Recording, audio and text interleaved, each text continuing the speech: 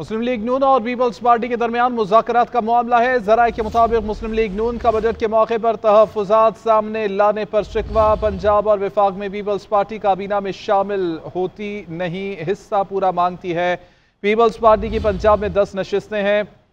بینتیس فیصد حصہ کیسے دیا جا سکتا ہے؟ اسی حوالے سے جانیں گے نمائندہ اسلام آباد عاطف بٹ ہمارے ساتھ موجود ہیں۔ عاطف بٹ بتائیے کا تفصیلات۔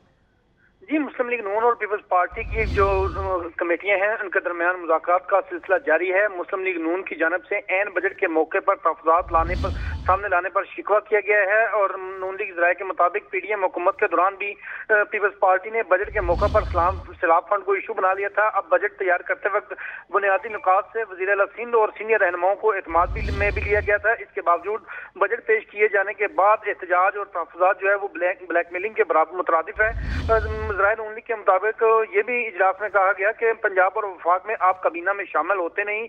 حصہ پورا مانگتے ہیں۔ پنجاب میں پاور شیئرنگ کابینہ میں شمولیت کے بغیر کیسے ہوگی؟ پیپلز پارٹی کی پنجاب میں دس نشستیں ہیں تو پینتیس فیصد حصہ جو ہے وہ کیسے دیا جا سکتا ہے؟ اسی طرح پیپلز پارٹی کی جانب سے بھی جو اپنے تحفظات ہیں وہ مسلم لیگ نون کی کمیٹی کے سامنے رکھے گئے ہیں۔ کمیٹیوں کے مذاکراتی عمل کے دوران ایک دوسرے کا جو موقف ہے وہ تفصیل سے سنا گیا ہے۔